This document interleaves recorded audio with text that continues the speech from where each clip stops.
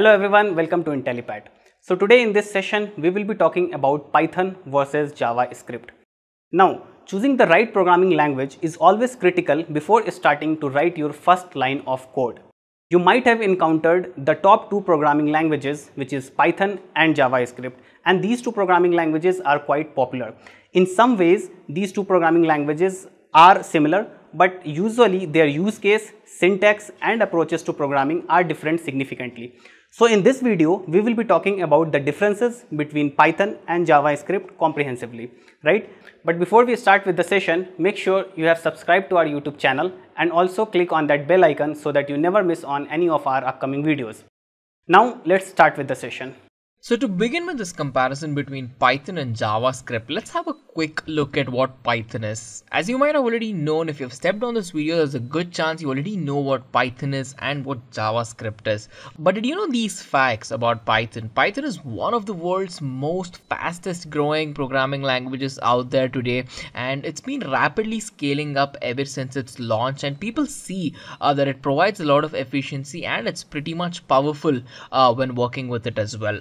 Of course, Python is an interpreted language. It supports high level syntax. It makes it really easy for one to understand and learn. It's strongly typed. Again, we're going to have points on each of these design where we'll be uh, discussing on it. And then of course, it supports object oriented designing as well. When you think about all the programming paradigms, all the types of programming which can be supported in Python, so there's imperative programming, which is concerned about what uh, you know the result is and how you can get there. There's functional programming where you have certain set of inputs, certain set of uh, outputs, and you have functions, uh, you know, which can transform these inputs into outputs. Then of course there's the OOP paradigm where you know every single entity in a particular program is considered to be an object, and these objects will have their own attributes, it'll have their own functions and much more.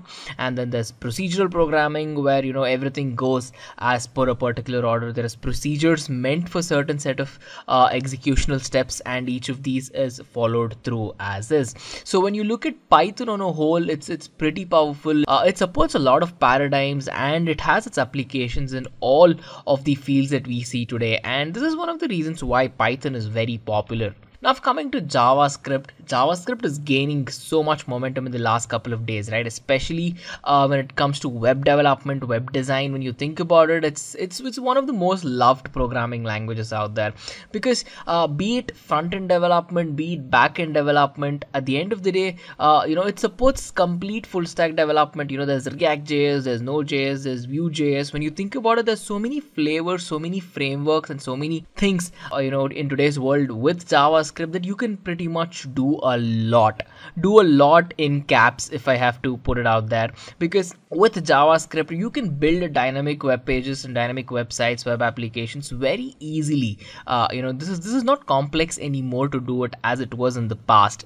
It'll help you provide very good functionality whenever you have to add any new features to an existing feature set or when you have to you know extend uh, the certain features of what, what what what's already present as well. So when you think about it that way it it is providing you guys so when you think about it that way, it's providing the developers with amazing support structures for building any sort of web applications or any sort of web pages. And all of these combined together is what makes JavaScript, uh, you know, the most beloved programming language out there because it's very dynamic, it's very quick, and it provides a lot of advantages in terms of end-to-end uh, full stack development in today's world as well.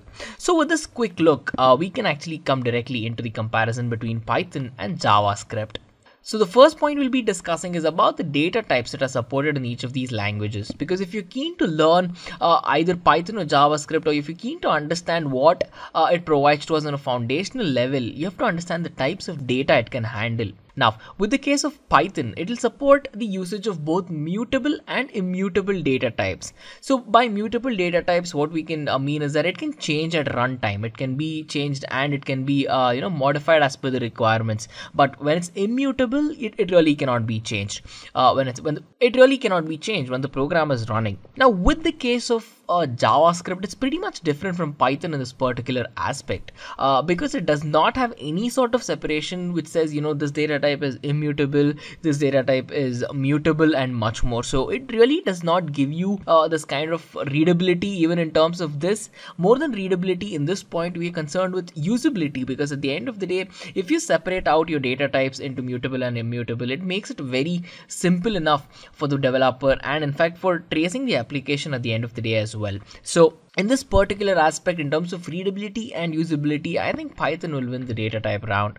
Now when you talk about numbers in python when you talk about the diversity of it as well python supports a lot of numerics on how you can handle number data. So basically it'll give you support for integer floating point numbers decimals and uh, you know a lot of variety when you're working with numerical data so with JavaScript, you know, you just have one number data type where you can, you know, process all integers, floating numbers and everything that's required to handle it. So again, in terms of separation, in terms of giving the user a little more flexibility, uh, you know, Python is going that uh, extra step. Of course, at the end of the day, you know, both of these programming languages might have very different solutions, but then now it's more closer than ever. Python can do almost everything in terms of web development as what JavaScript can do, right? So this comparison is very, very important in that aspect Now coming to the third point, it's the usage of hash tables. Hash tables are basically used to create key value pairs where there's certain data which is used as a key to access certain values and hence the name key value pairs whenever we talk about any sort of hashing functions which create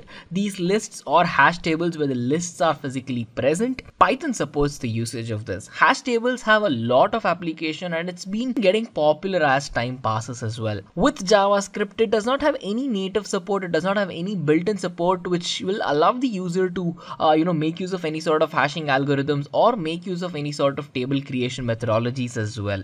So so at this point of time in comparison it seems that python is uh, you know taking a little step ahead uh, away from javascript and breaking away at the front but when you compare uh, the next point, which is basically code blocks, here it, it comes to preference because see, Python is different in its own way, where it makes use of indentation blocks to separate out your code segments and your subsegments in the program. So if there is a looping construct and you know that that looping construct has separate logic or a different logic compared to the previous steps, you will indent it to the right.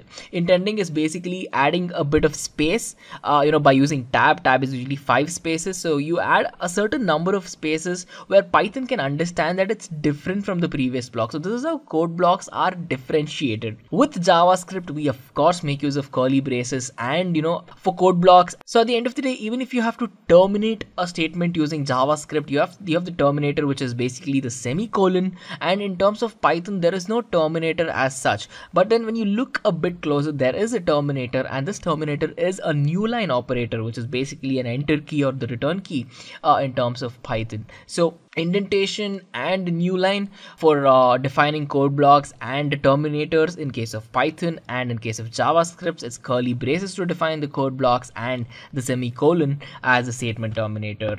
So here it comes down to preference either you want to pick Python's way of uh, handling code or JavaScript's way of handling code. It's not that any of these are inefficient but again with indentation you might be a little quicker in writing code because you have little less to worry about in terms of either using using braces or in terms of missing semicolons when you're writing hundreds of lines of code as well. With that, we can come to point number five. It's how each of these languages can handle data conversion as well. Python is a strongly typed programming language. With that, what we basically mean is, uh, you know, whenever you give a data type and corresponding data to the data type, it has to be accurate. So whatever data you give must match the data type. Because if you don't, Python will give you an error saying the data type you have put in and the data that I'm seeing for that, it's it's wrong. So you know, when it's strongly typed, it'll give you less freedom of what you can do and uh, it'll basically tell you that you have to be accurate when you're working with data. So there's no levy there there's no there's no flexible space there on what you can do. Of course this is an advantage in terms of efficiency in terms of how data is handled and the pipeline is maintained but it can be seen as a disadvantage if you're a person who likes a little bit of flexibility. In terms of javascript javascript is a bit weakly typed in that you know you can have any sort of implicit data type conversions uh, where you know you've typed in numbers. If you want to use these numbers as strings uh, you can do it and eventually you can convert strings into boolean into num- numeric data types and much more as well.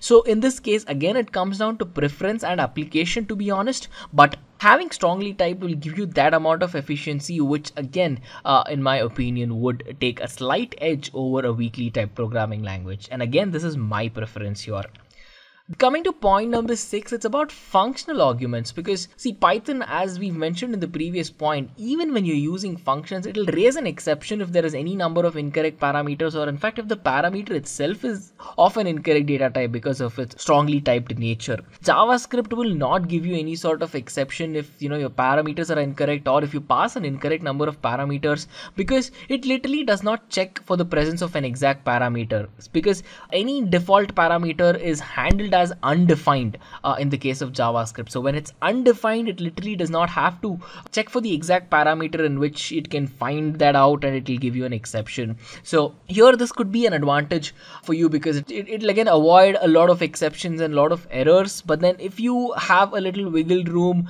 uh, where you know you're not confident about the program that you're writing with, then uh, it is very easy to skip certain exceptions in JavaScript when it comes to Python because Python wants the syntax on top top of the table. If you've made a mistake there it'll tell you that you have made a mistake. So here again uh, it's it's it's it's a battle of preferences but if i have to pick for this particular point i think if the parameter is handled as undefined it'll give you a little more wiggle room to understand what's going on behind the space as well. So for this point i would prefer javascript now, next thing we talk about is the inheritance model. There are two types of inheritance models when you talk about Python and JavaScript. It's class-based inheritance and prototype or prototypal based inheritance as well. With class-based inheritance, you know, the entire class, the objects present in the class need to be moved around, need, need to be mutable enough where the data can be handled inside that.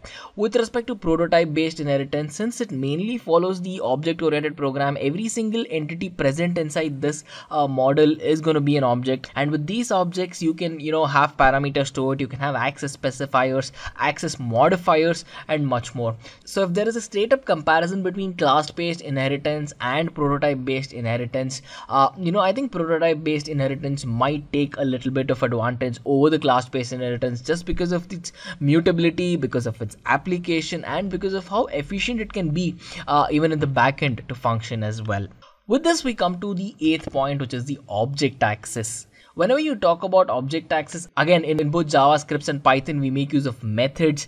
Uh, whenever there is a method used, uh, the first argument in Python for any single method is always a self argument. So it has to attest to itself before you can pass any other arguments onto these methods and use it. And here it's a little bit different in case of JavaScript because uh, the application is pretty much the same, but uh, we use something called as the this method, THIS this. This method is basically used to access all of the objects that are present in that particular method and eventually to work with it. So it does not have any sort of requirement where uh, you know there's no self argument where it has to attest to itself first as the argument and you know then begin with the function definition or then begin with the usage as well. So this again there's no clear winner here because because self argument in python is used because of its architecture and that this method is used to access all of the objects in javascript. And these are two very different things but of course we put it under the same uh, point here because at the end of the day whatever you're trying to achieve is common object access right here so, uh, understanding this, we can come to point number nine, which is a very important point which talks about key applications. Python is extremely well known in today's world for all of its data intensive operations, where you know it can handle amazing amount of data at lightning paces. Let's say neural networks, let's say deep learning, machine learning, artificial intelligence, predictive data analytics, facial recognition, computer vision, whatever it is, uh, you know, where there's a lot of data that needs to be processed, handled with the efficient use of of algorithms and much more, Python always takes center stage with that. Now, it doesn't mean that JavaScript is weak in any aspect because whenever you're building web applications or dynamic websites, JavaScript, as I've mentioned at the start of this comparison, it's still the king of the programming languages because it'll help you build a lot of things with small amount of code. Now, you might have already known there's lot, lots of flavors of JavaScript as we discussed at the start of it, but then once you start to understand these frameworks and use them in coordination with each other, it's really, really simple to build uh, very elegant solutions in terms of web applications or even very, very good looking and functional websites at the same time as well. With that, you might have a question saying if you're willing to get started with either of these or even both of these, which would be uh, uh, which would be your ideal pick? Now, uh, see, in terms of Python, there's one advantage that JavaScript does not have is that it'll give you amazing readability. So there's there's short syntax which can do a lot. So basically, you'll be writing small amount of programs, small tiny syntaxes, which will have a large effect on the output. But with JavaScript, it does not have any, uh, uh you know, it does not provide any sort of readability. It does not convert its code into general readable English language such that you know you can understand it better. So with this native syntax syntax of JavaScript, it really isn't as readable as Python. So it makes it a bit difficult if you get starting with it because as you look at it, syntax is everything. And if you do not understand it easily, then it of course it'll take a lot of effort to you know understand what's going on as well, right? So in terms of that, and in terms of how popular both of these languages are, of course, there's no comparison there. But in terms of ease of use and ease of implementation, to be honest, I think Python would uh, win in this point as well. So what do you guys think about ease of use and ease of learning? enough so with that i think there, there would be another follow-up question which which asks which is the ultimate programming language when you compare python and javascript unfortunately there is no one ultimate programming language here because whenever you talk about python python has been effective in the field of uh, you know distributed computing in the field of artificial intelligence and it is stepping into the world of web development as well. There's django there's many many other tools. Uh, there's flask and there are so many web development applications web application building frameworks which have been uh, using python as well. But then python is still getting into that field of web development but javascript natively was built for that. So it was built such that you can create very good websites and build web applications as uh, we've discussed in all of the points here as well. So depending on your application, depending on what's necessary, where, uh, you know, what problem you're willing to solve with that you will have an answer to your question regarding which is the ultimate programming language for you as well. So which programming language would you pick? Would it be python or would it be javascript? Do head to the comment sections and let us know. And on that note you have reached the end of this comparison